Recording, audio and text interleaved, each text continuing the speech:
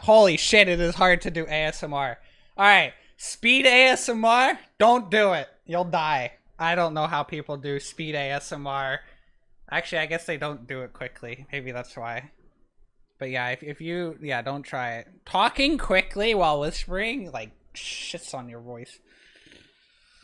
You should do ASMR. It would have to be a really slow ASMR stream. Like, really slow ASMR. Because I, yeah, it's, you can't go faster with it. Turn off YouTube light. True. Aren't patch notes lacking? What do you mean? This is a juicy patch notes. In the past, we've had patch notes, and so okay. Last wow, we're really stalling here. Uh, last patch notes, not last patch notes. Last expansion, did we have patch notes? Were there a lot of um, changes? Because I feel like most of the time when they release a new patch, there are not very many changes. Right? I even talked about this a month ago. I said uh, the reason we're not having patch notes a month ago or patch changes a month ago is because meta is pretty balanced and they're getting ready for the next expansion. They don't want to change too much, right? And I say that and they're reworking like 10 cards or something. It's crazy. No, I, I love these patches, these patch notes. All right, let's do patch notes. Here we go. Uh, multiplayer is now standard. Okay, cool. Developer pets are now mentioned in credits. That's kind of cool. Play menu has been redesigned to improve the understandability of the different game modes and bring it and brings with it numerous other new features and enhancements to the user experience. A description is shown for each game mode. The player's rank progression is shown with current progression of the ranks mosaic art. Current active. Okay, do any of these matter? Uh, granular breakdown of MMR statistics is shown. For, okay. Two new trees related to Master Mirror. Cool. New contracts for playing. All right. Cool. Cool. Cool. Neutrals. Reset keyword is now removed. So the current cards that have the word reset on it are Mandrake, Spores. Oh no, sorry. Reset keyword? Wait, so what is it called now? Wait, I don't understand. What is it called now then?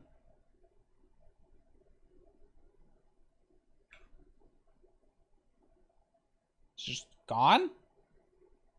Okay. Uh maybe they worded out like Oh, maybe they just got rid of this. You guys can't see that. But there's a keyword over here that just says reset. Maybe reset is self-explanatory. So they just don't make... I don't understand why you would remove it. It doesn't hurt to have this here. Okay, whatever. it doesn't really matter, I guess. Maybe in the actual card they say restore a unit to its base power. Maybe they just do that. Deploy, re restore a unit to its base power. They just take it and stick it over. Viraxas has reset word.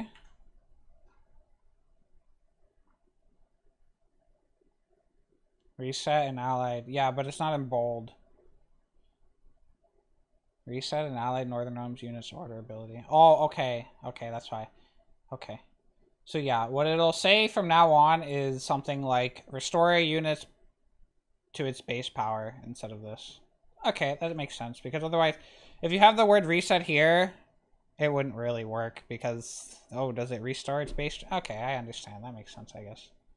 Uh new keyword disloyal. This card is played on the opponent's side of the battlefield so this is for spying. New description for keyword spying status given to a unit spawn played or moved to the opposite side of the battlefield okay cards spying are now disloyal cool since spying was both used to describe a sta uh, status effect and distinguish between units that have to be played on players or opponent's side of the board uh, we have added a new keyword disloyal, so the distinction between the two is crystal clear. Disloyal is a keyword for units that have to be played on opponent's side of the board. Spying is a status of units. Alright, cool. Biting Frost, provisions change from 7 to 5, ability change to spawn Frost on the enemy row for 3 turns. So, if you look at current weather, they're 8 for 7s, right? 8, 7, now it's going to be 6 for 5. Uh, 6 for 5 is typically better than 8 for 7. Um, the big impact for this is a card like Avallac'h, right? Because you're losing two points on all of these for Avallac'h, which is also why they buffed Avallac'h, which we'll get to in a sec. Yep. Uh, do you play this in any deck because of this change? Probably not. Uh, the only deck you consider is maybe a no unit deck for monsters because you want to play shit tons of Frost. Yep. Uh, Frost keyword at the start of uh, owner's turn damage the highest unit. So Fog and Frost swap. Frost is now highest, Fog is now lowest. That's what these two are. Uh, Fog key, yep. Uh, so all of them are going three turns, seven to five. Rain keyword, yep. Okay, cool. So they're doing this for all the weathers. Um, maybe the other reason is to make it less punishing for weather. Um, weather removal is getting removed from the game, so. But I mean, even if weather removal didn't exist in the current game, it wouldn't change anything. So yeah, I'm not too sure why they're doing this. Oh, is it for Aridin? Hold on, what's the what's the wording on Aridin? Is it spawn a frost or is it spawn for X turn? I think it's spawn for X turns. Yeah, spawn frost for two turns. So like if this was like spawn a biting frost, then it would make sense. But it's not even that. So I, I don't honestly know why they made this change. I guess it's just easier to include into a deck. So the big thing is like maybe they add Wild Hunt. You guys remember Wild Hunt Hounds back from the day where they were like bronze card, forest strength, pull a biting frost from your deck, right? If they added a card like that, then yeah, obviously it makes sense. But that card doesn't exist, so yeah. Um, yep. Biting Frost, Fog, and Rain will now spawn the effect for three turns and cost five provisions. Frost will exchange its ability. Did they say why? No, they don't explain why they're changing it from seven to five. Okay, Dragon's Dream ability too. So Dragon's Dream didn't change. They just it spawns Dragon's Dream and then it has a keyword, which is exactly what it is. So same thing with Skellige Storm. Spawn Storm for two turns. Storm is damage the whole row. The, the reason you do this is so that in the future, when you create new cards, you can say spawn Storm, and then you already have it.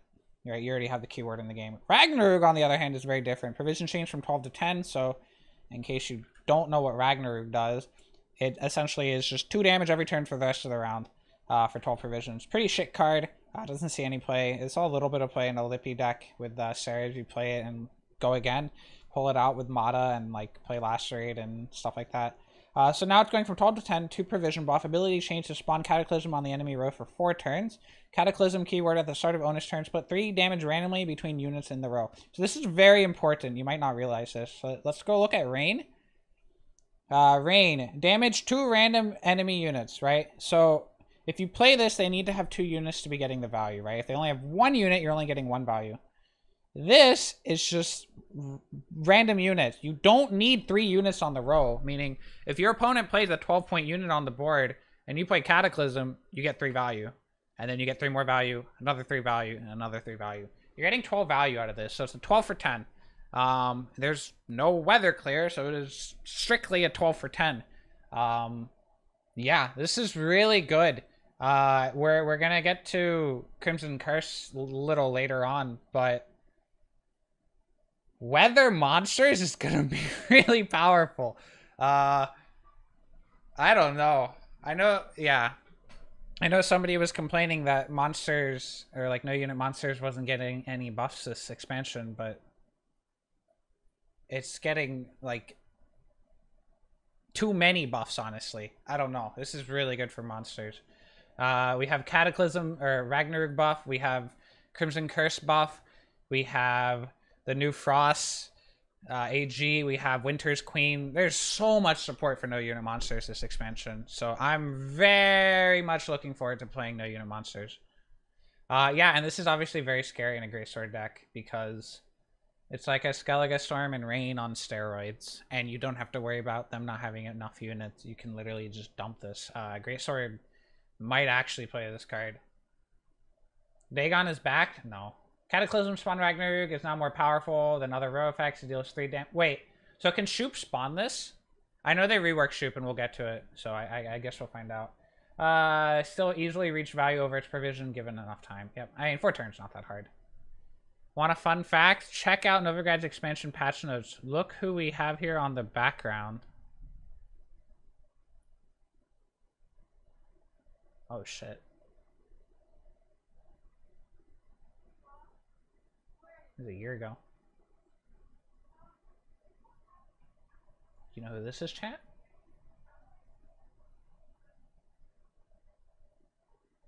Wow, a one year leak. That's crazy.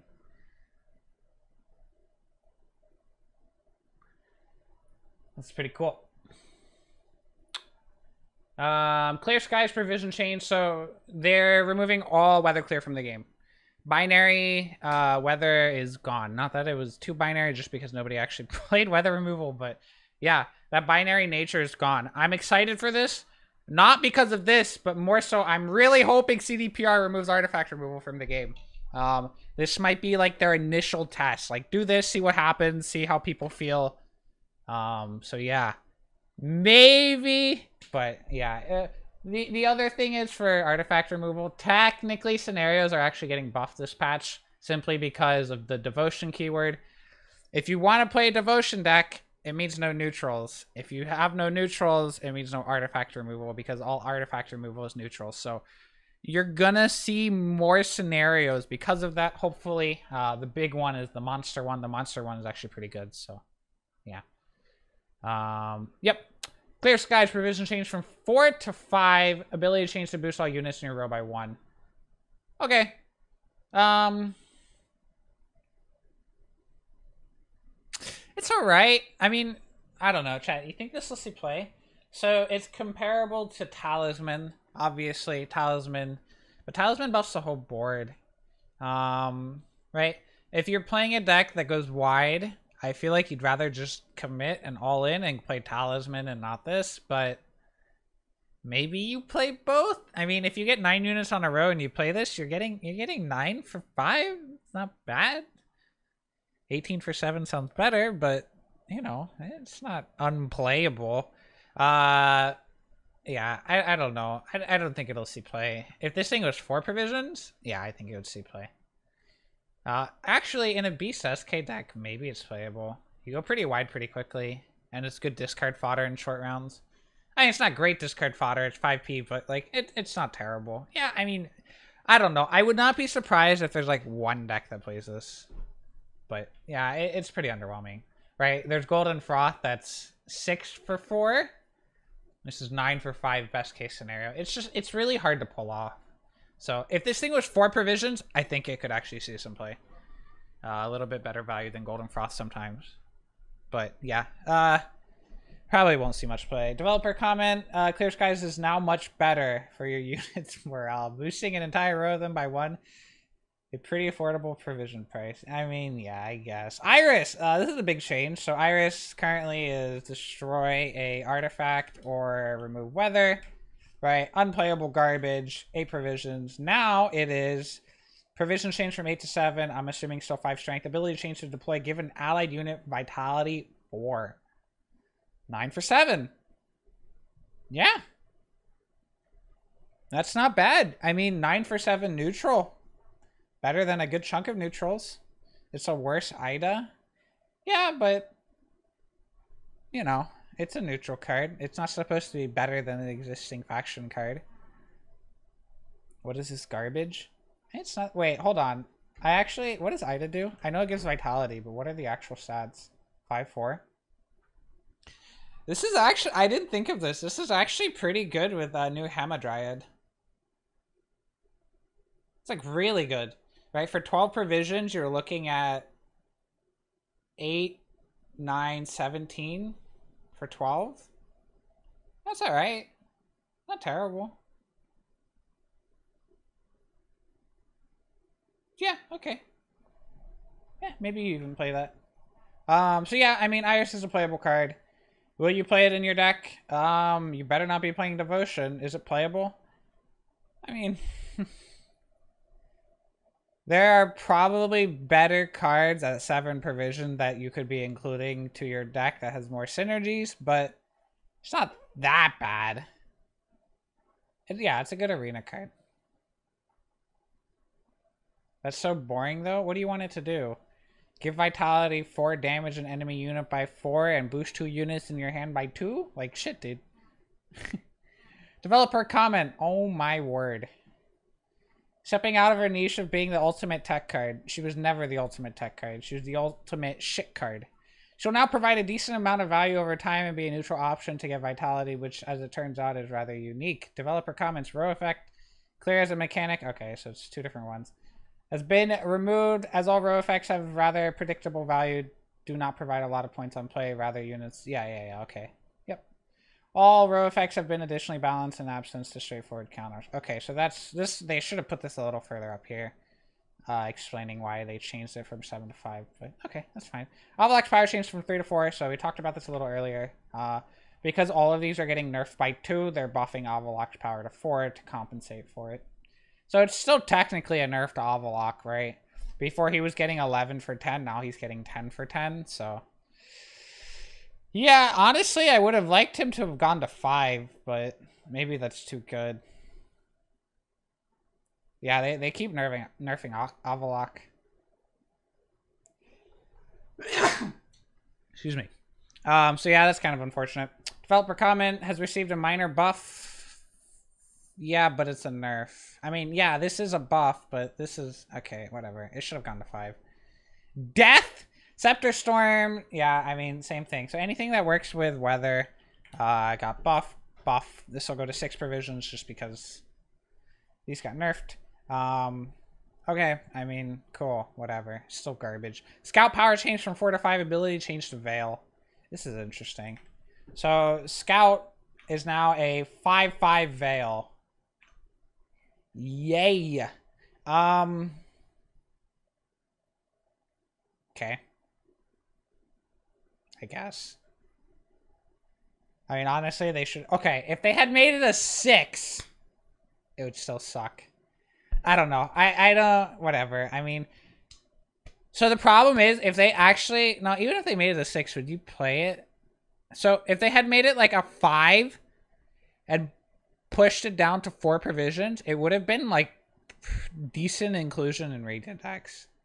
Um, so yeah, I don't know. The only reason you would ever consider playing this card is if we're in like a super duper bleed slash uh, poison meta and you want all your cards to have the word veil on them, in which case you could include this because it has the word veil. But uh, yeah, it's, it's pretty shit. Um, Scout moves ahead, fearing no statuses and leaving his old job of controlling weather behind. Okay. sure. Shupe Mage row effect choices change to deploy spawn a random row effect on all rows for three turns. Okay.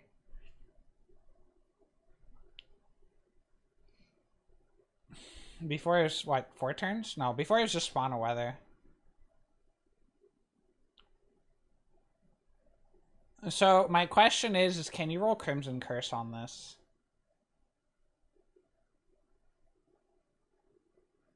So yeah, you can SK Storm for three turns instead of two, which is much better. SK Storm was typically the worst one to hit.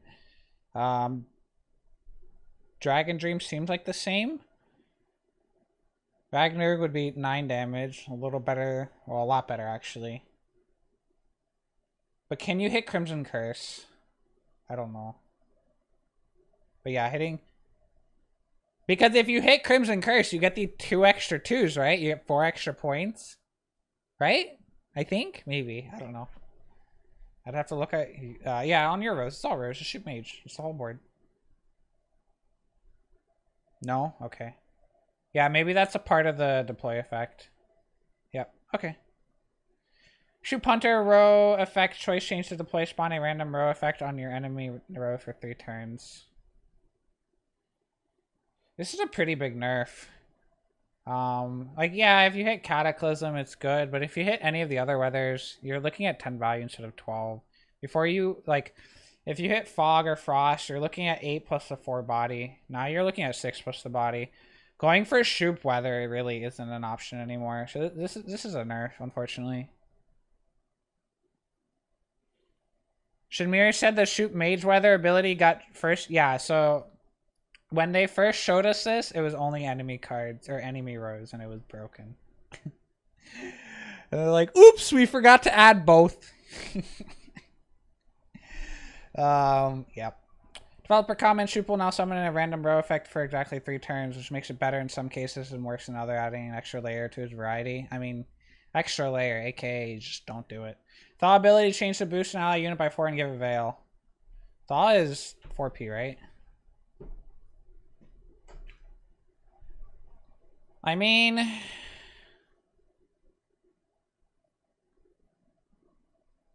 Better than Scout. I don't know. It's not. It, it's pretty bad. I mean, you're you're getting four for four, which is pretty bad. I mean, we have a new packed card that's like six for four, right? Um. Once again, if you're building a deck where you just want to give Veil to everything, I don't know. Maybe you're playing TK and it's kind of like a Purify. You purify your own units if you're not playing Scoia'tael with this. So, Purify, semi-Purify. Fortune teller. Yeah, I don't know. I, I it's whatever. If this was five, I think it would actually be pretty good. Uh, I mean, maybe within the next six months, this sees play at one point. Uh, if we're in a meta that's a lot of aggressive, uh, like offensive statuses, but most likely won't see any play. We're still on neutral card, dude. They rework so many cards. Thaw keeps its boosting component instead of ending row effects. It becomes weaker and becoming weaker as a result. It protects the unit with Veil. Okay. Olgierd, Poggers, power change from six to seven. Wow, still shit. Pog. Um, it's still eight provisions. Should just made it an eight. All right, while we're getting there, um, still garbage. Ekmek, thank you for the 34 months. Welcome back, sir. Uh, I mean, I guess you could play it in like a pre-stack, but yeah, it, it's pretty garbage, unfortunately. Should we zoom in? Is that better? That's probably better. Uh, yeah, I wish I wish they would buff their provisions, or yeah, to seven, or bring it to eight. You could potentially play it as a seven for seven, eight for eight, but yeah, it's it, anti-weather. Sure, I guess. Yeah, if yeah, okay, I, I suppose. Uh, if there's a lot of weather in the meta, you could play Olgierd. I, I guess.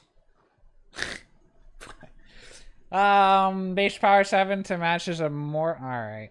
Uh, Moreelse ability to change to. Big, big nerf here. Poison, yeah. Uh, order, melee. So we got the Damien Stefan nerf. Uh, I'm very happy about this. Moreelse is an insanely powerful card. Having it subject to uh, row removal is pretty good in my opinion. I think this is fine. I don't think it kills the card. I'm glad to see this change. Moreelse is a pretty insane card. I'm fine with this. Yeah, I mean, they, they still, like, Moreelse is still a nut card, right? If they play Moreelse, you can move their Moreelse and then they use their other poison. Like, Moreelse's power level is still there. I mean, in like 90% of cases, this actually isn't that relevant, to be honest. Because if you remove it, it's the equivalent of doing 5 damage, and they still get to poison and kill your card with another card. So, like, with the exception of, like, Brouver, where you can Brouver and push your opponent's card and then Purify, right? Like, this is a buff to Brouver, basically. That's about it. Um, so yeah, Brouver gets a teeny tiny bit better. I suppose, because Brouver is like the one leader that can actually like make use of this. Or Melina. Yeah, that's true. Or Melina. If you have a Melina on the board, you can also do that. I actually think Brouver is going to be playable next patch. Uh, we haven't gotten to it, but Aglaïs went from 2 strength to 4 strength, which means you only need to put 6 boost on her for her to break even.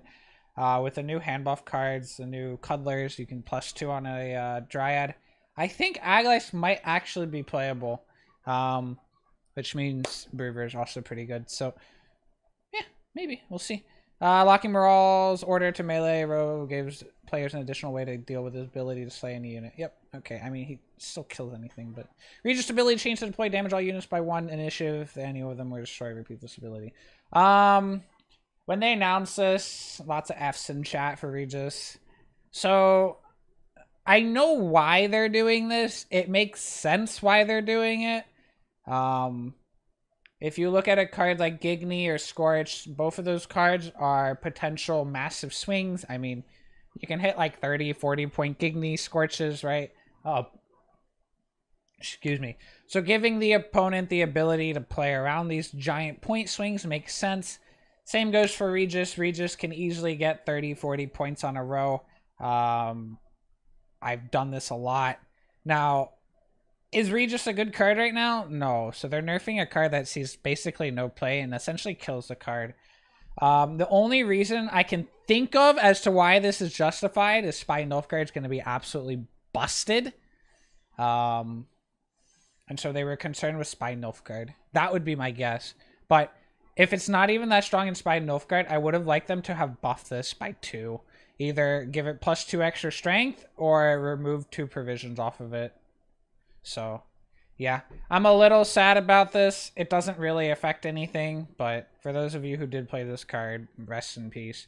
Um, it makes sense. CDPR wants there to be counterplay on large swing cards, and that's completely understandable. I just think they also needed to buff it a little bit. So, whatever, I guess. A little unfortunate. Uh, yeah, matching Geralt, Gigny, Scorch, explosive potential. Yeah, basically exactly what I just said. Uh, just like Scorch and Gigny, should slow down his ability to completely swing the game by forcing players holding on to him to choose between playing him with extra power or taking the time to set up big play. Yep. It's understandable. Just like Scorch. I mean, Scorch is unplayable garbage right now. They seriously need to buff the card. This needs to go down to 10p for it to see play. Um, will that ever happen? I don't know. All right, Armored's Workshop provision changed from 6 to 5. Um, this is kind of cool. So it looks like they are buffing neutrals. Boost 3 adjacent units by 2 and give them 1 armor. Um, so now you're looking at 6 for 5, so it's a worth froth unless you can utilize the armor. Well, how do you utilize armor? Yeah, berserkers. So in the Gore deck that I've been playing right now, I play Munro with berserkers, dwarf berserkers. You can buff them Honestly, even in that deck, I still wouldn't play it, to be honest, just because it's gimmicky. I mean, that combo is already gimmicky. Also, that combo with the Munro and Zoltan is going to get removed immediately for Eithne, so... Yeah, it's a nice buff, I guess, but I don't think it's really that relevant, to be honest. Xavier Lemmens power change from 5 to 6. I mean, we're getting there. It's still garbage, but we're getting there. We're getting there. Um, they just introduced the new squirrel. Oh, we're super big over here. Uh, they just introduced the new 4-4 Squirrel, which allows you to banish. The only reason this is better is because you can still hit three units, which is fine, I guess, if you're playing against, like, Bran. Sorry, not Bran. Um, what's it called? If you're playing against SK, Lippy decks, um, are you going to play this? Honestly, probably not. If you want Banish, just play the Squirrel. I still think this could honestly use another buff, but whatever. I mean, they're, they're getting there. They're getting there. Only took six months to buff them. But I still think it's bad, unfortunately. Music's a bit loud. Yeah, I just turned it down.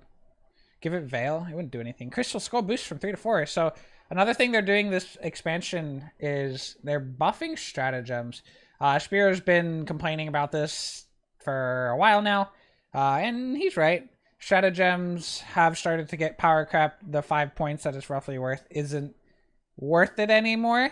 Um, and that makes sense. So we're getting some nice buffs on stratagems. I believe the stratagems are getting buffed. I mean, we'll, we'll cover them, but it's Crystal Skull, this one, this one. This one's the biggest. I think this one might actually see play uh, with the change. But uh, yeah, so this is going to be boost a unit by four instead of three. Is that playable? Um, Sometimes you played it in Gurney because your round one was so strong, you didn't really need the five points. So, yeah, maybe in a Gurney deck.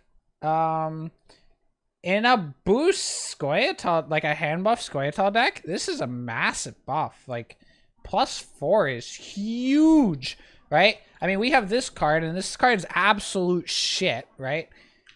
This, in terms of the deploy effect, is the same thing, and this is evaluated at like six provisions for this plus four.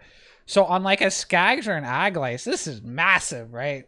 Like four points, you get to double utilize this for eight. Woo! Wrong card, hello. Crystal Skull. Is it not this? Oh. I thought this was Crystal Skull. Oh, I'm sad. Oh, that's depressing. I thought it was this card. Now I'm sad. Is it this card? Oh, it's garbage. Feels bad, man. I don't give a shit about this card. No, you got my hopes up, CDPR. I thought Handbook Scoia'tael would be playable. Oh, come on. Dang it. Nah, I mean, yeah, you're not gonna play this. I mean, you could play it in Beast SK, but the new Ouroboros is better, so... Meh. I'm sad. Siphon Wily provision change from 9 to 8. I like this change. Um, Wily's actually pretty decent now. Yeah. It's an 8 for 8. You get the banish effect.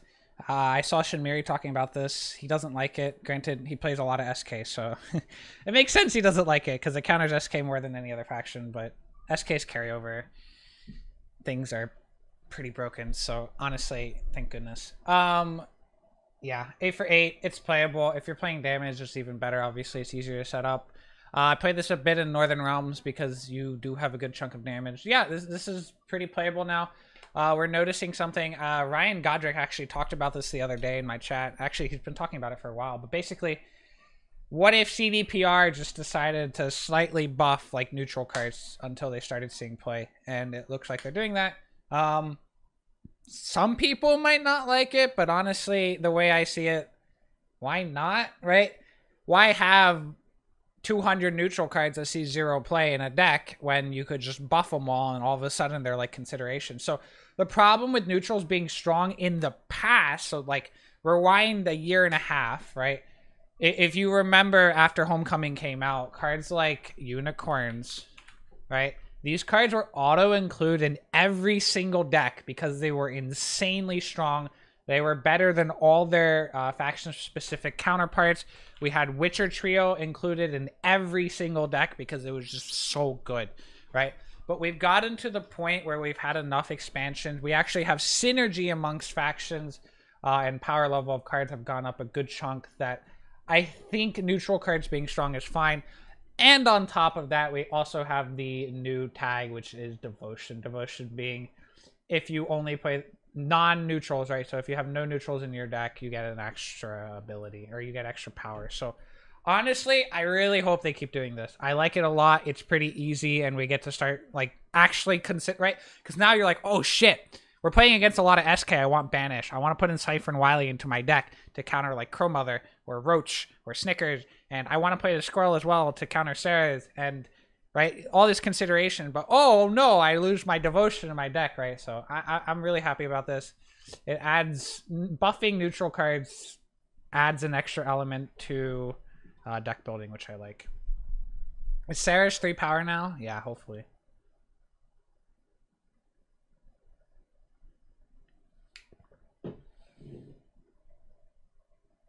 Deck building complexity, yup. So re really happy about devotion. Iris companions provision. Yeah, we saw this a little. We saw this up. No, wait, no. This is companions. The other Iris. Uh, it's still shit, right?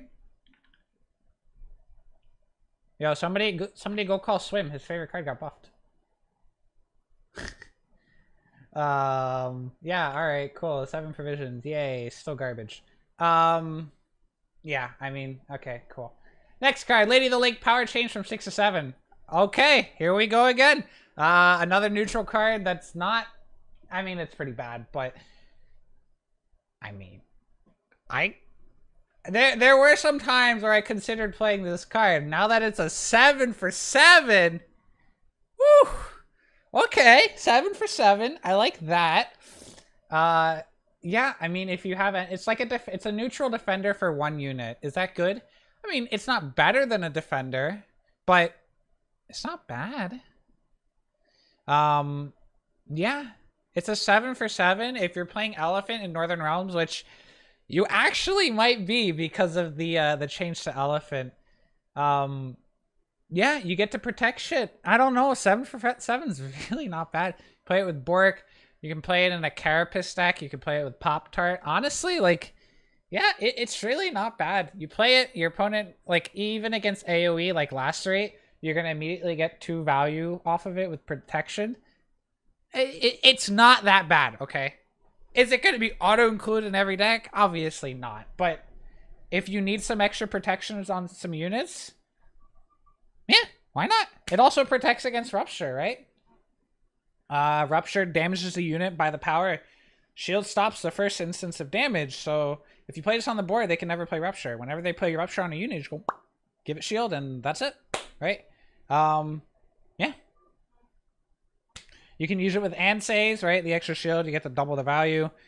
Uh, it's good in a Pogner deck. Will Pogner deck be good? Probably not, but who gives a shit? The point is, it's a playable card now. Yeah, it, it's really not that bad. Um, also, at 7 strength, it's basically unkillable, right? 7, like, okay, Vincent can kill it. Okay, that's about it. How else do you kill this? 7 strength with a shield? Like you're gonna you're gonna heat wave a seven P card, dude. Your opponent's gonna like jump up and down and clap their hands if you heat wave a Lady of the Lake. Dude, yeah, I mean, removing this card is basically impossible unless you have a Vincent. Manticore Venom, provision change from 10 to 9. Yay. I mean, cool. Card sucks, but I guess it's better. 9 for 9. Whee! Sure. Uh, another round of swipe buffs to neutral cards that have decent effect. Cool. Uh, monsters! Alright, we're doing monsters. Imlerith, Ge'els, Nithral, Caranthir, Wild Hunt Rider, Wild Hunt, blah, blah, blah. All the Wild Hunt cards, primary category set to Elf, secondary category set to Wild Hunt, Wild Hunt, primary category set to Beast, secondary category set to Wild Hunt. Okay, cool. Awesome. Doesn't matter. Um, I mean, yeah, it, whatever. Cool. It's, if they ever create a Squirtle card that says create an Elf, I guess uh, Wrath, secondary category. Okay, Naglfar. Right, so like all of these things are super relevant if this was like. Ge'els, tutor a wild hunt unit from your deck, right? Okay, all of a sudden all these things are relevant, but yeah, it's not the case, unfortunately. Um, wild hunt is now secondary. All right, cool. Uh, Crimson Curse provision. So this is big. Crimson Curse is a card that came out with the Crimson Curse expansion. Uh, faction was named after this, and this card is unplayable garbage. Yeah. Complete garbage. But two years later, a year and a half later, it's playable. Uh, provision change from 9 to 10. Ability change to spawn Blood Moon on the enemy row for 5 turns and spawn 2 Ekimmaras in the opposite row. So immediately when you play it, you get 4 points. Really big. Whether having a body attached to it is really, really good.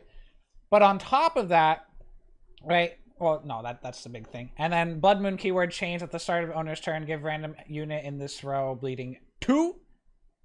Oh no, it's another. Yeah, what's the Northern Realms card that's like bleed every time you boost it? This card, right? Nathaniel. If you've ever played Nathaniel, Nathaniel target locks on one like two strength unit. Seven bleeds on the yeah, it's terrible. But if the unit's already bleeding, damage it by two instead. So this right here this tiny little detail right here, just, yeah, this card's very playable. Uh, if this wasn't here, eh, it probably wouldn't be great. Uh, it, it might be playable, but it wouldn't be great. This this is huge. This is massive. Um, yeah, every now and then, if it's like two strength already and you bleed it and it bleeds again, you can overkill it, but it's gonna happen less frequently than Nathaniel. Um, yeah, if your target's a veil card, it won't. It, it'll bleed it and then do nothing. Yo, Kruski, thank you for the four months, sir. Welcome back. Orianna likes it. Yeah, dude, this is really good for Orianna. Uh, I look forward to playing this in a no unit deck. It's really good. Uh, Crimson Curse, I also believe, is an alchemy card. Or sorry, not alchemy, organic, which means you can tutor it, which is really good.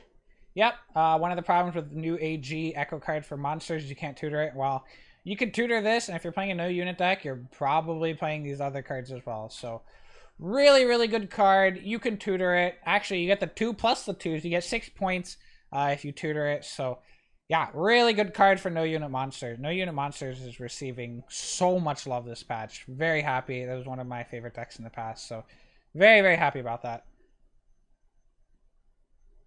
Yep. Uh, developer comment, quite difficult to make use of it. Yep, now it spawns Eki on play, making it faster. Blood Moon synergizes better with vampires. Yep, long-lasting row effects. Cool. Foglet ability, change the death wish, summon all copies of this unit from your deck. Uh, so yeah, they just make it all copies. Um, yep. I they said on the developer is my music dead? Hold on, let me fix my music. I think it paused. I think they said that Foglet was like the last remaining card that wasn't tutor all? Did they actually change volunteers? Nope. I, I like how they said that was the last one and they put Piga and forgot. So I'm an 8 copy. They haven't fixed this yet. I don't know. They debated me. I knew they were wrong, but I didn't say anything. Um, yep. Okay. Whatever. Debated! I'll probably tell them to fix that. Um, so yeah, uh, we, we, it's, but I don't think it really matters. I mean, it's summon all copies of this unit from your deck. How do you get multiple copies of Foglet? I mean, yeah, operator, I guess, like decoy, but how, how else do you do it? Oh, runestone, sure, yeah, if you runestone into it and then nom it, you get two copies. Okay, that's true. But if you do that in Scoia'tael, you only get one copy. Also, I don't think it works for Sentinels either, right? Oh, it is all copies. Okay. So, yeah, okay, right. They did change that when they reworked Eithne. Viable strategy? I don't know about viable strategy, but it is a strategy, I suppose. Um, so yeah, I this doesn't really matter. Wild Hunt Riders, this is pretty big because Auberon where are you? Auberon. Here you are. Uh, you can create a Wild Hunt Rider, and well, now you can spawn two Wild Hunt Riders from your deck. Makes it a 9 plus 6 point play, 15, and then on top of that, you get double thinning. So it's like a, a balanced Cerys. Wow. Poggers. Um, yeah, it's kind of cool. Boglin Wild Hunt, we're the last units! Don't lie. Lying is wrong. Don't lie. This isn't true. Don't lie. Gal's power change from 5 to 2 ability change to deploy melee, discard a unit, boost off by power, then draw a card. So they took Gals and Weaves and flip-flopped them. Yup. Alright, cool. Uh, Weaves, power change from 2 to 5. Yeah, alright, so they just flipped it. Awesome. Fantastic. Uh, yeah, alright, cool. Skellige, Champion, Charge, Primal Savagery, Gutting, Guttin? Guttin slash? Gutting? Trophy catch and stunning blow added raid category. Wow. Does nothing. Um. Yeah, maybe they'll add a raid tutor in the future, and then they're gonna have to nerf all these cards because all these cards become broken if they add a raid tutor. Scowl Blueboy Lugos added warrior. Cool, good for warrior deck. Uh, an Craite warrior ability change to deploy given enemy unit bleeding three. If played from graveyard, damage an enemy unit by three instead. Uh, really? Okay. So, wow, I typed in warrior, the biggest tag in the game. Uh, damage enemy unit by one. So the problem with this card is it's garbage if you play from hand. You had to discard it. Well, before discarding it was pretty good because you would res it with Cerys and Cerys would come out and then they changed Cerys and then this card went to shit and yeah, it all fell apart. So now they're finally buffing it, so that's kind of cool. Priscilla Jr., thank you for the 19 month smile. Um, so yeah, this card was garbage. 4 for 4 is unplayable. Now all of a sudden it's not garbage. Uh, you play it, you bleed an enemy for 3, and yeah, once again, uh, normally bleed typically doesn't get value just because your opponent purifies it, but we're getting to a weird point with SK where you're not going to ever purify a bleed, right? There's a bleed 4 on this card as well, but you're not going to purify it because if you ever purify it, your opponent just keck W's and insta-kills a unit. Um, yep. Why would you play this over Savage Bear? Uh, because you have a resurrect mechanic, right? This Play four provision cost warrior from your graveyard, right? So you get damage an enemy unit by two, and then you get to play a six. You get an eight point play. So there's a reason why it's better than Savage Bear. So there's synergy. Yep. Um, yeah, it's a playable card. Will it see play? Maybe in a warrior deck with uh, like a devotion deck with uh, war on clans, right? With this card, if you have devotion, always trigger deathblow ability. You realize the ability. Well, actually, wait. It's only three damage, right? Yeah, three damage. So you can kill a five. That's not bad. That's pretty good. I mean, SK doesn't have a lot of cards that do five damage, right? They have like none actually. Like they have Giga obviously, and then they have this card, Gutting, but it's contingent on your opponent having two Bloodthirst units. So yeah, I mean, will Devotion SK be a thing? I have no idea. Maybe not. But if it does, or if it is, then yeah, this might be playable. Uh, ability three. Oh, oh, what? Yeah, yeah. I already talked about the rupture. Okay. Uh, yep. All right. Mask of Ouroboros. Ability change the order draw card, then discard a card and spawn a crow in your melee row. This is huge. Um, this is garbage, except now it's not because you get an extra two points. Is that relevant? Yeah, actually, it is relevant in a Beast SK deck. Um, if you're playing Brann, you get a ping off of this, and then you get the two points. So you get three damage. So you or not three damage. You get three effective each uh, value, and then you get the discard a card, obviously. So you can combine it with like a skirmisher and work where I get some more tempo. But the the big thing is you get a crow, right? It's not just you get a random two. It's you get a crow. That's really good for Beast SK. Not to mention, we have a new Mass Purify card, which is going to see auto inclusion in Beast SK. Uh, that's just one extra point for your Flaminica. So, yeah, really nice uh, buff for Beast SK. and I, I suppose Brand if you want to play it. Um, so yeah, I like this a lot. Will it be better than the five for most SK decks? No, probably not. But yeah, for Beast SK, this is a nice change. Uh, gaining some points off you in a form of token using Mask.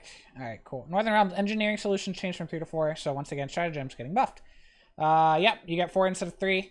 Most Northern Realms deck never played this just because if you wanted to keep an engine alive, just take TA. If you wanted points, take Magic Lamp. There's no reason to ever take this, but uh, 4 with Shield is pretty hard to kill. It plays into Vincent, I suppose. Um, the nice thing is it also plays around Geralt. Um, I know people uh, Keck W Geralt. No one plays that garbage card. Uh, we actually might see some Geralts starting next patch, and I'll explain why. Um, right now, if you TA an, engine, you kind of just ignore it. While there's some new engines that we're getting, these, right? If you leave these alone, they're going to get a lot of value, and then you get to get the value later on uh, get even more value.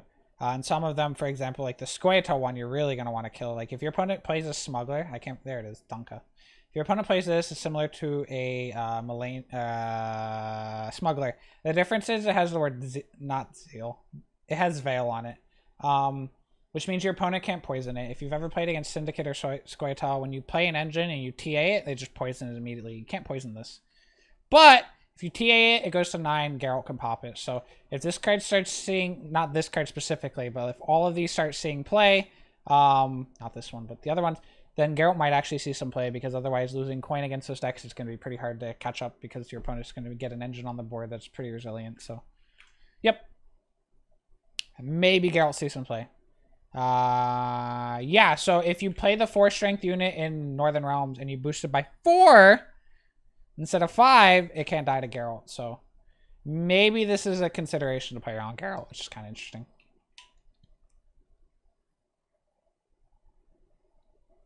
And of course, Vincent just one-shots it because it has the words uh, Veil on it. Engineering solution boost by four, so even if its shield is... Uh, yeah, okay, cool.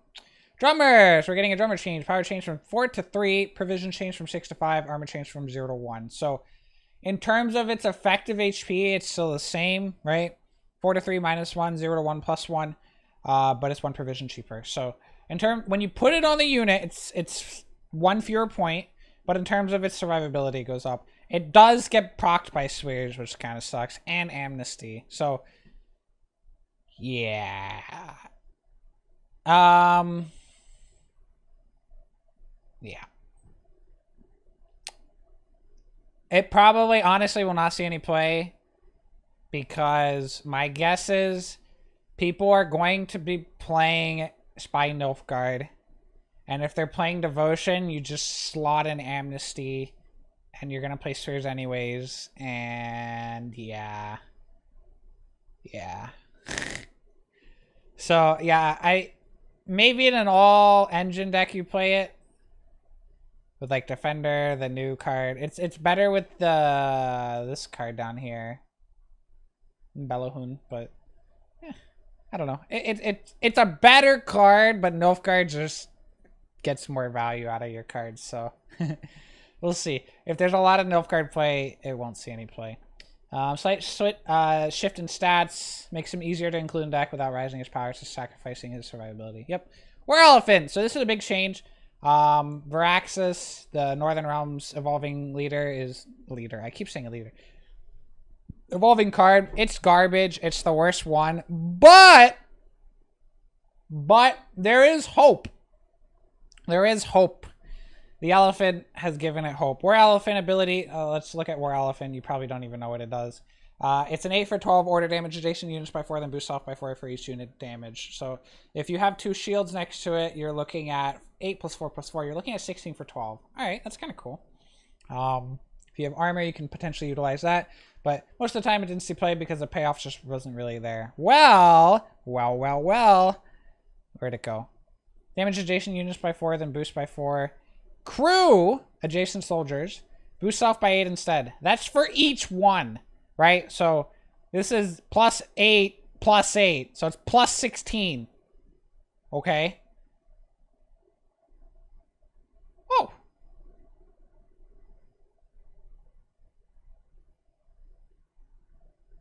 Are you sure? Is it not?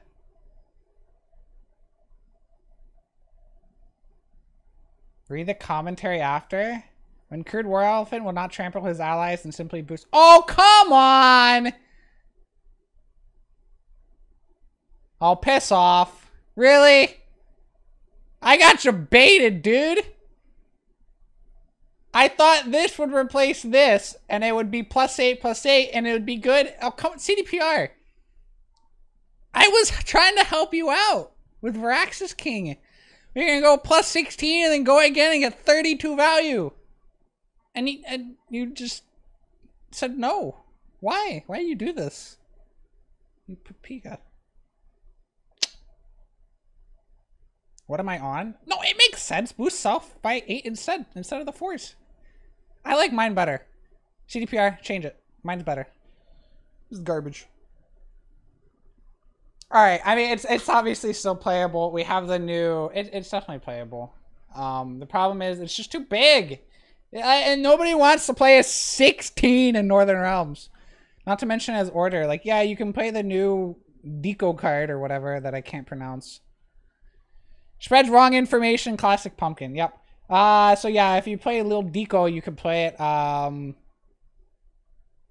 without having to worry about the order, but the the reason the easiest way to get crew is smoke them out. Okay, I'm kind of sad. I mean, I guess you can play Viraxas for another plus eight, which is better than the other ones. So yeah, maybe it's okay, but it's just too big. Like if you don't have last say, your opponent just laughs at you and kills a 16. Does Veil protect once or multiple times? I mean, it's to infinity and beyond. Does Veil protect one and multiple? It's not like when you give a unit a negative status on Veil, it removes the Veil. When does NR have last say? Right, never. Which means, yeah, I'm sad, dude. I was so excited to play plus 16, plus 16 Elephant. Dude, I was going to have a 40 point Elephant. And then CDPR said no.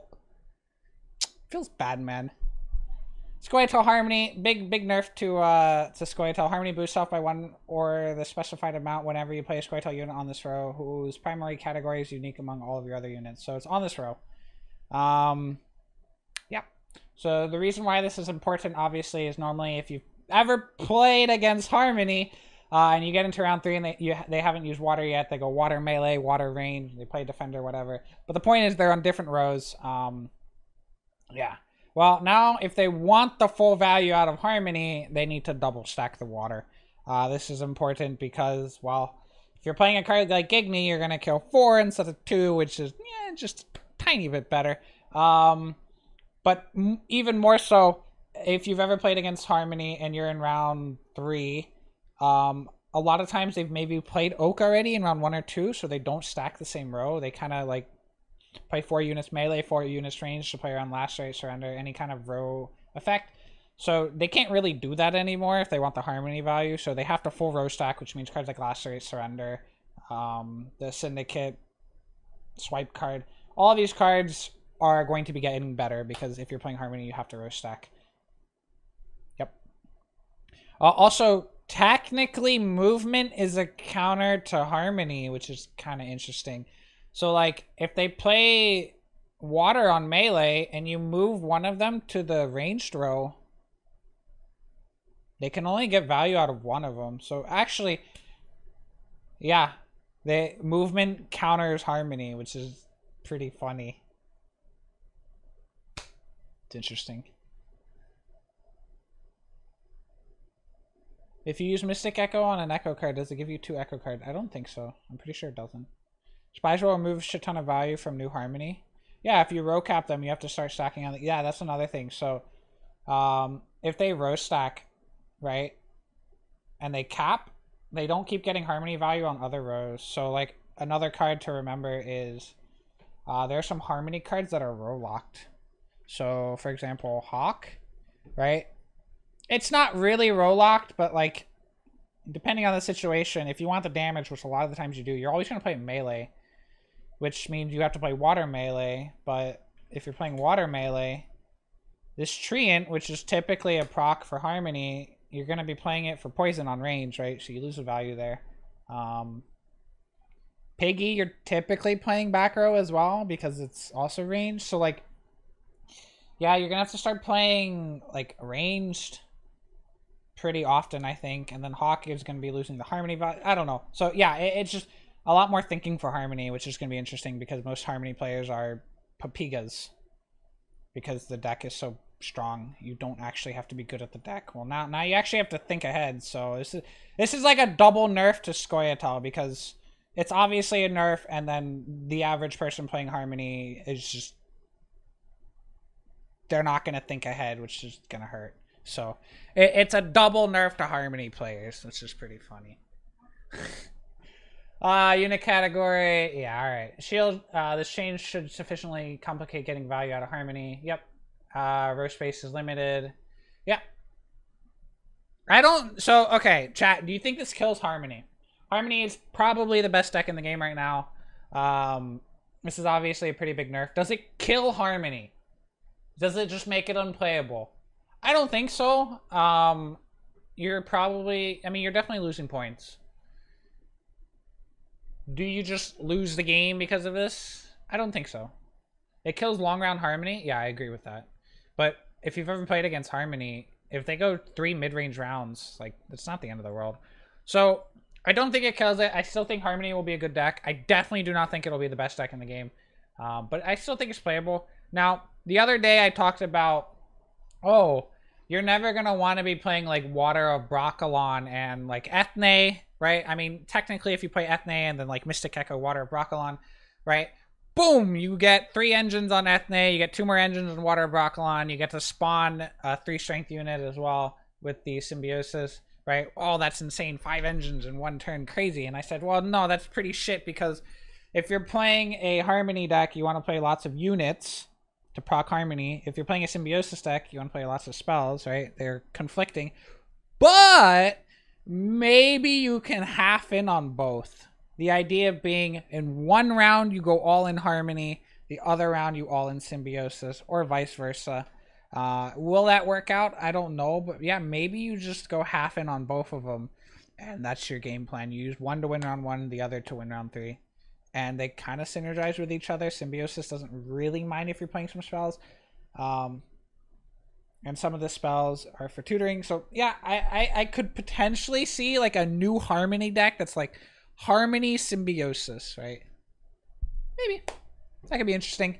Uh, but yeah, All Out Harmony is definitely getting nerfed and I'm very happy about that. I don't like playing Harmony, and I don't like playing against it because it's OP OP.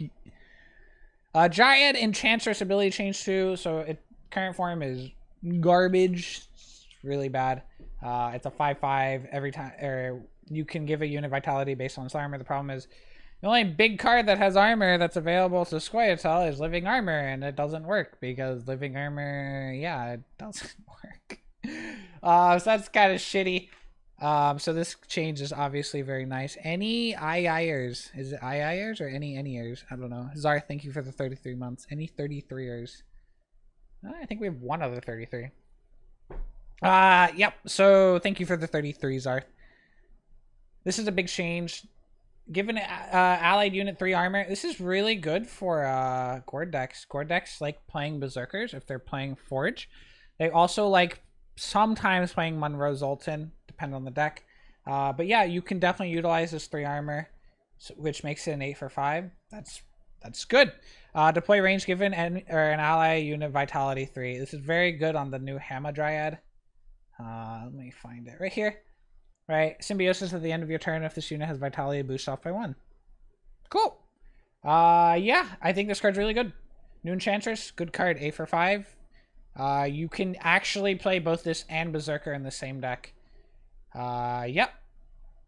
This card's definitely going to see play next match. Very good card. It has synergy with two different cards as well as is it eight provisions? The eight provision dwarf card.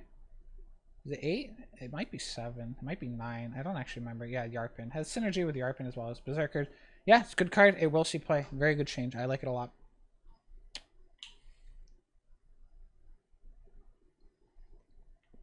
Yep. Uh, basically saying the ability is interesting, but it wasn't actually good. New effect will now guarantee your vitality regardless of armor. Yep, very good. Saskia! I've been complaining about this card for liter like since it came out because it is absolute garbage, right? It's like a shitty Povco on steroids. Shitty steroids. Uh, this card's been unplayable. Okay, now it is less unplayable.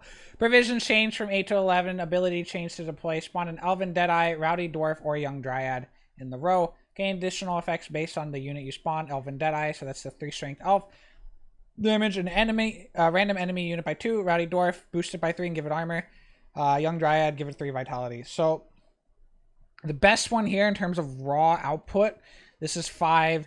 This is 5. And this is 5. So they're all 5. This one, these two are better in the short term. This is better in the long round. So they're all 5.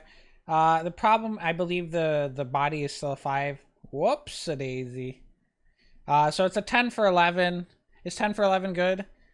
Not really, but I'm assuming it's still going to have the dragon tag, so kind of useful for Harmony. Um, it's playable. It's playable. Uh, if you're playing an elf deck, getting an extra Deadeye is kind of useful. Uh, this can get extra points out on the Verno. It's a proactive play, which is pretty good. Uh, the Rowdy Dwarf, I'm kind of sad.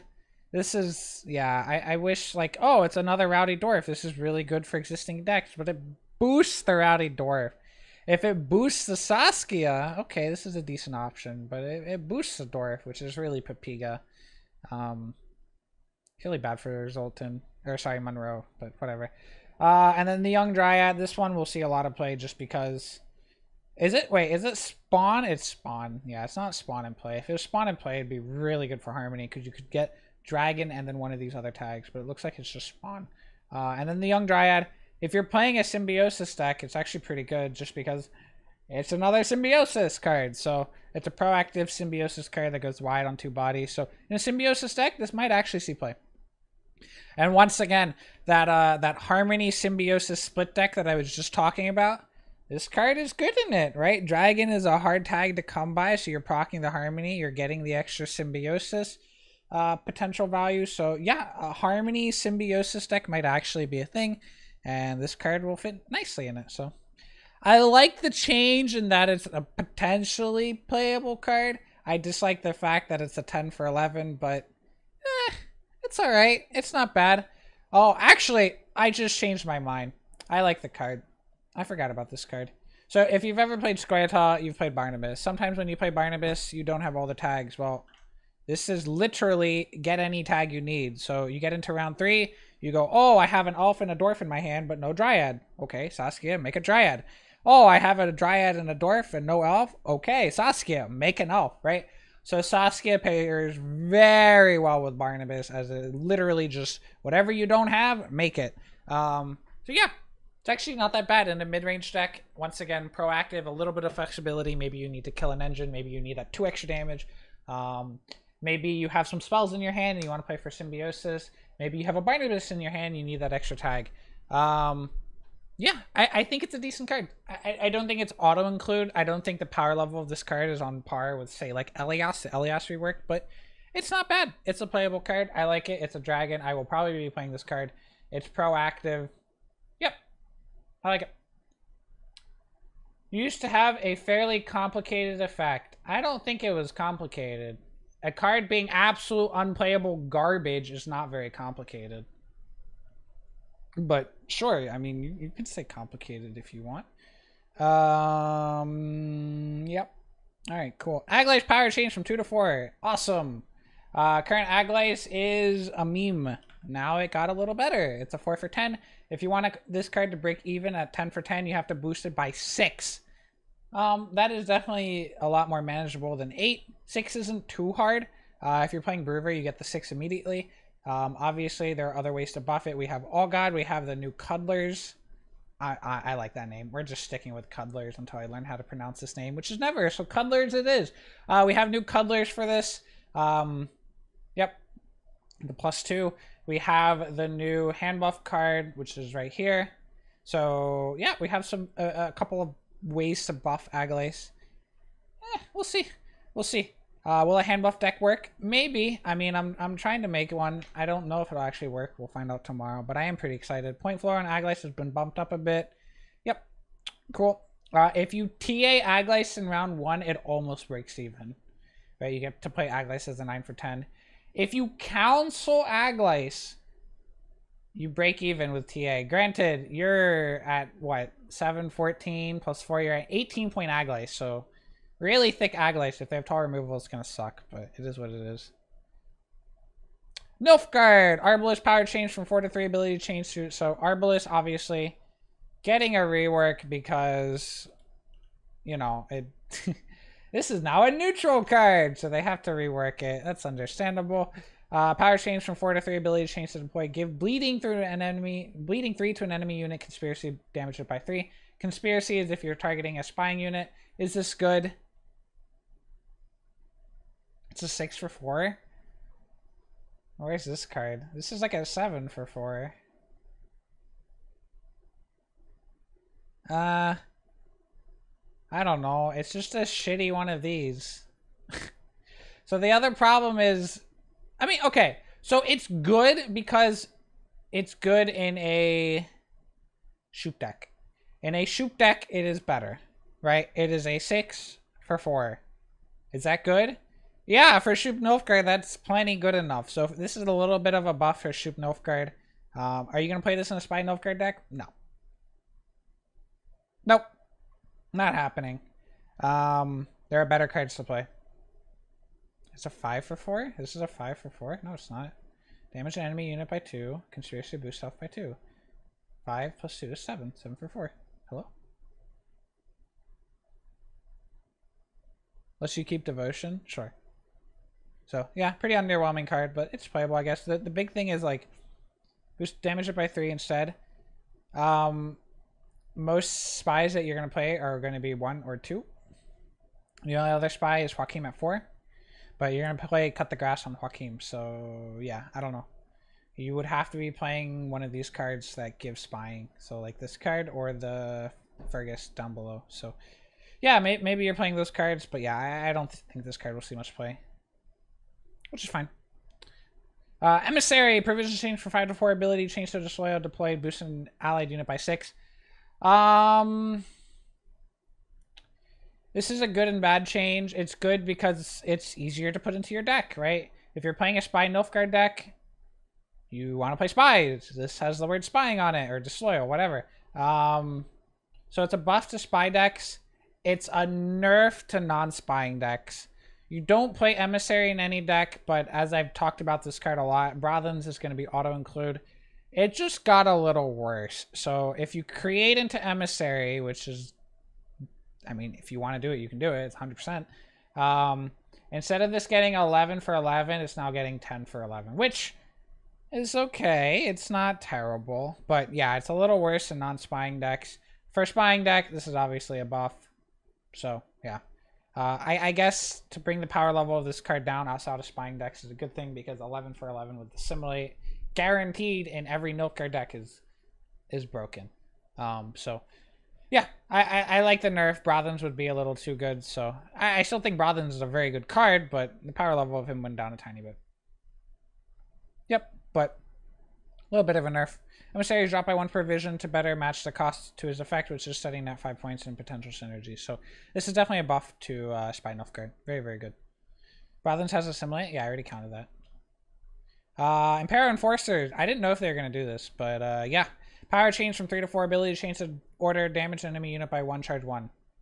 So current Enforcers is 2. This is 1. But the big change, the reason why this is actually a buff, even though this is one instead of two, is whenever an enemy unit gains spying, gain one charge. The current wording is whenever you play, play a spying. The reason why play versus gain is massive is because uh, we have this card, which is give, right? It would be gaining. We have this card down here, which is give, not playing. Uh, and then we have the new usurper card, which is not gain, but or it is gain. It's uh, spawn instead of play. So all of those three cards that I just mentioned, they would not proc old enforcers, but new enforcers do proc on it, which is really good. Obviously, still procs with seditious aristocrats, so they're just they're putting it in line with seditious aristocrats. Um, yep. So th this is a buff. Also, yeah, our enforcers row locked. Yeah, it doesn't look like they're row locked anymore. Yep. So I would say this is an overall buff to enforcers. Obviously, three to four means it's not uh, you can't spears it, and it's a little harder to kill, so that's important. But overall, it is definitely a buff because a lot of the spies that you're going to be making are going to be spawn or like uh, transform it, not transform, but like giving spy. So it, it's a buff to enforcer. Uh, I like this change. Yep. What tag does it have? I'm assuming soldier human. Yeah. Um, so yep, buff to enforcer. Rainfarn. Power change from 6 to 5, provision change from 8 to 7, ability change to deploy damage enemy unit by 2, conspiracy increase the damage by 2. Um, okay. 6 to 5, provision change from 5 to 7. Okay, so it's a 7 for 7, conspiracy increase damage by 2. Didn't Rainfarn had a persistent, like, effect, which is whenever you played a spying unit? Does this still have that?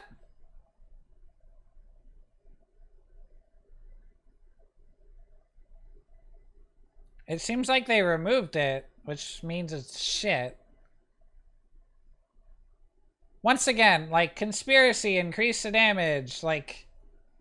Yeah, yeah, you're not going to be hitting fours. Nine for seven? Yeah, but it's... Uh, is it a nine for seven? Is it no. It can be a 9 for 7, but you have to play this in Fergus. Once again, if you're playing this in Fergus, you're going to want to be playing Cut the Grass, not Rainfarn. I don't know. This seems pretty shit. Like, yeah, it, it's it's a 7 for 7. You're not going to be targeting 4-point spies. Like, the only exception is if you're playing Devotion, you're playing Fergus, and you hit three units. One of them you want to play Cut the Grass, and the other one you want to Rainfarn. Like, okay, maybe. I don't know. I mean, you have to be playing Fergus and two of these if you're going to do this. Are you going to have room for that? I honestly think Spy Nilfgaard decks are going to be really tight. I don't even know if Spy Nilfgaard decks are going to play Mage Torture. I know that sounds crazy, but a really good card in Spy Nilfgaard is Vigo. Uh, you're going to want to play the three Spies. And then you're going to want to be playing Enforcer and the Seditious. The reason why that's really nice is you have a total of five bronzes right there, right? Three spies, two engine spies, or spy engines. The idea is when you play Vigo, you're guaranteed to hit a spying at one strength, which is really good. You want to be hitting ones with Vigo. So for that consistency, you're going to be wanting to run 3-2, which means this doesn't make the cut. Now, is that worth it? Is it worth not running Mage Torture? I don't know. Maybe maybe you just forego Vigo and you play Mage Torture anyways, and then maybe you can play Rainfarn. But uh, yeah, I mean, whatever. I would have preferred, honestly, whenever a unit gains spying, boost self by two, and then just make it do like two damage. Like if that was a card, oh yeah, Poggers, I'd play the shit out of that card. But in this current form, probably not going to be playing it. But maybe we'll see. We'll see. Play Dame or Seditious. What leader works best with spies? Best? I don't know. I would not be surprised if you played an enslaved spy Nilfgaard deck. Uh, you play Amnesty, you play Devotion, you all in with spies and yoink. So like, yeah, right. You know what's really good with uh, Amnesty enforcers, right? If your opponent plays a four point engine, and you have an enforcer with a tick, you ping it down to three and yoink it, right? So that's that's, that's pretty good actually. So yeah, I would not be surprised if Amnesty Spy Nilfgaard with Enslave is not terrible. Is Vigo a bad Braathens? I mean, they do different things. Uh, developer comment, since Nilfgaard has a lot of cards passively benefit from Disloyal, Rainfarn has changed to more actively taking advantage of playing those units. Yeah, but it doesn't take advantage. Ay, ay, ay. Like, it, if it was like, look, Damage an enemy unit by two. Conspiracy boost self by two. If that's what it did, okay, now we're talking. Now it's a good card. I, I it's not going to be four point spies you're hitting other than the Joachim. You're going to be cutting the grass with that. So yeah, I, I don't really like this to be honest, but whatever. Whatever. Stefan, ability to change to spawn and play a copy of the last tactic you played and give it doomed. Uh, for existing deck, this does absolutely nothing uh, other than like a sire bribery, but nobody did that. Uh, in which case, if you really want to do that, you just do it first. Uh, so this has zero impact on existing uh, Nilfgaard decks. The reason why this was changed is because of Cut the Grass. They don't want you playing Cut the Grass twice in one round and then going again and doing it two more times in round two or three. Um, which is understandable. This is fine. It's not really a nerf. I think it's absolutely fine. Uh, developers common tactics created by Stefan are now going to be banished after using it to stop taking advantage of Echo Mechanic. The ability to not change functionally. Yeah, yeah, yeah. It doesn't matter. Delirium Soldier changed from 6 to 5. Finally, dude. Finally. It only took way too long. Uh, yay, we got a 6 for 5. Poggers. Are you going to play this? If I can find the card. No, I can't find it because it's still 6 provisions. Uh, spawn a base copy of this. Pog. 6 for 5. Um... Maybe Swarm Nilfgaard. Maybe you play this with a seven provision card that I'm not gonna remember the name of. Nilfgaard. This card. Reamd. Yay! Maybe maybe maybe Soldier Nilfgaard's coming back. That'd be kind of cool. Uh, is it playable? I mean, it's six or five isn't great, but if you're playing a wide people deck with like Talisman, maybe it's good enough. Yeah, okay, maybe. Hopefully. Um, Syndicate, Congregation, ability change. So this is this is. I'm not a huge fan of this change. Um, Congregation ability change to spawn two Firesworn Zealots in an allied row. If Firesworn units are on the row, spawn three instead. So the the rationale here is it's kind of, the card is awkward if you have coins. And yes, that is true. If you have any amount of coins, playing a four for four is really, really bad. Um, so in the upcoming Swarm Syndicate deck, this is a buff, I think, because you're going to be playing a shit ton of other Firesworn. Like literally every card in the word in the deck has the word Firesworn on it. So you're always going to be getting six for six on the or six for four on this in the Swarm Syndicate deck. But in a Gourd Syndicate deck, this is really bad. This was a proactive play. Um, yeah, can't do that anymore. So that kind of sucks. So it's a buff for Firesworn deck. Really big nerf for... Not really big, but it is a nerf for Gourd Syndicate, so it kind of sucks. Rip. Honestly, I, I like the whole idea of if they have coins that only spawn two. Honestly, I wish they didn't change this, but whatever. If it means we're now playing Swarm Syndicate instead of Gourd, so be it, I guess. Having no coins was intentionally an awkward condition coins carrying over between rounds. I mean, yeah, but you just had to manage them. I don't know. I don't think this is a good enough excuse, but whatever. Procession of Pendant's ability to change the deploy damage off by 10 reduces the damage by 2 for every Firesworn token. So this is pretty big um, for Firesworn deck. Nice nice buff for Firesworn uh, Swarm decks, yep. Uh, it's now counts all cards with both. Yeah, yeah, yeah, yeah, yeah, yeah, yeah. Okay, cool. Sacred Flame provision change from the 10 to 9 ability to change the deploy spawn if I Della on both sides of this card order. Boost all units in this row by 1.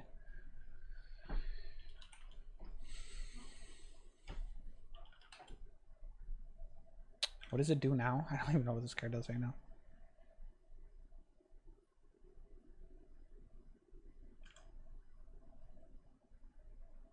It has an order now?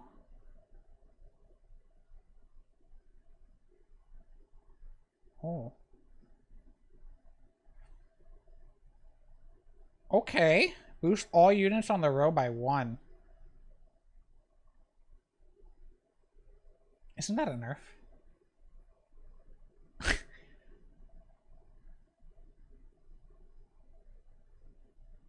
I mean, I, I, I guess it got buffed a little, right? But it's a nerf. I the the passive is better. Because now you have to play this and wait to get the value. It can only get value on one row. Whereas the other one, you played it, you get the value, and you keep getting the value. If they remove it, like, they changed it because of footmen? Which card is footman? This card? No. This card? No. This card? Nope. Who's footman? Foot... I don't know which card Footman is. Oh, the token? The three? Hmm. Oh, okay. Ah. I don't like the change.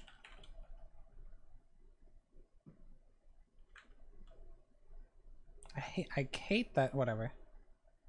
It's still Zealot, not Footman. I don't like the change.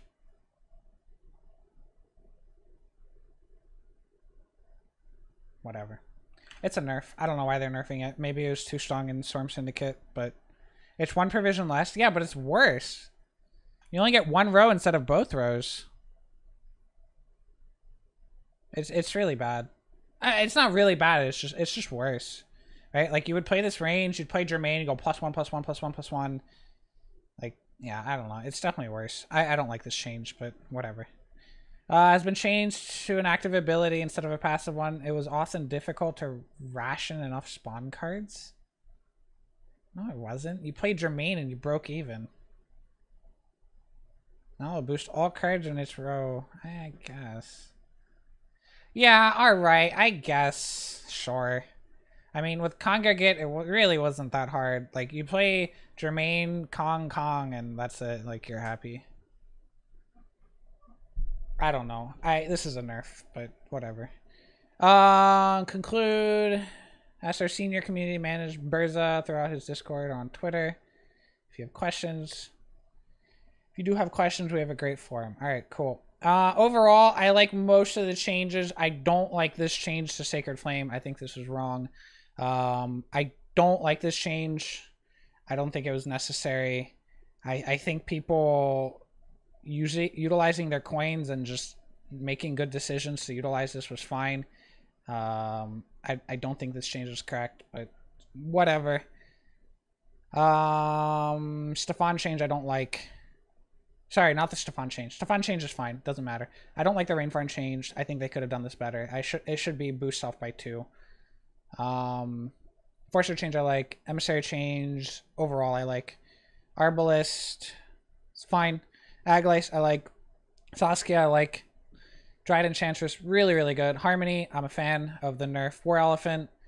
I mean it's better. I liked mine better, which was eight boosts instead of the four, so you go 16 16 with Viraxas, but whatever. Uh, maybe that's OP. Drummer, really bad against Nilfgaard. Engineering Solution, I like it. Mask of Ouroboros, I like.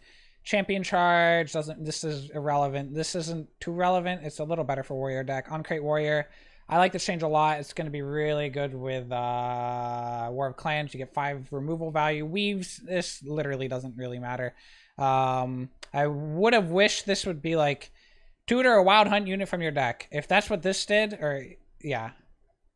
Or rather Ge'els. If Ge'els was tutor a wild hunt unit from your deck, I would be ecstatic. That would probably be my favorite change of this entire patch, but they didn't do that, so kind of unhappy about that. They they slapped Wild Hunt on all these cards, and it literally doesn't matter. But whatever. Uh, Foglet change doesn't matter. Wild Hunt Rider a little better for Auberon. Blood Moon really really happy about this change uh, with Crimson Curse. It's actually a really good card. Now, Naglfar, doesn't matter, It doesn't matter. None of these matter. Like, you don't, not really utilizing the Wild Hunt tag unless you're playing Auberon for the plus one every time you play a Wild Hunt card. So, a little better for Auberon, but in general, it doesn't really matter. Uh, doesn't matter. This I really liked. Playable card now. Irish Companions, still garbage. Cyprian Wiley, good card. Crystal Skull, doesn't matter. Xavier Lemmens, if you want Banish, play Squirrel. Armor Smith, doesn't matter. Regis, unplayable. Moral, good nerf.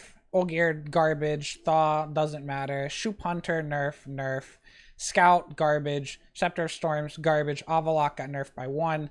Iris is playable, but still probably not going to play. Clear Skies, garbage. Uh, Cataclysm, Ragnarok is actually pretty good now. Skellige Storm, uh, doesn't matter. Same change. Dragon Stream didn't change. Uh, all the weather got nerfed in terms of maximum value, but brought down to five provisions. So a little bit of a buff there. Will it see play? maybe in weather monsters, like hard weather no unit monsters. Uh, disloyal spying doesn't matter. Uh, reset is removed. They're not gonna. It doesn't matter. Uh, yep, that's it. All right, there we go. Nice, nice, very quick backwards run through. Uh, just a nice little overcap if you want to do it all again. Yeah, you guys want to do the full card review or patch no change again? Um, yeah. So overall, I'm actually I was pretty surprised when I found out that they were doing balance changes with the upcoming expansion. In the past, when they do new expansions, they don't do balance patches just because CDPR typically doesn't like to do balance changes along with adding a lot of new cards to the game just because if they change too much all at once, it can be overwhelming for them to know where they went wrong. But yeah, I'm really, really happy that they're doing this. Uh, a lot of playable cards now.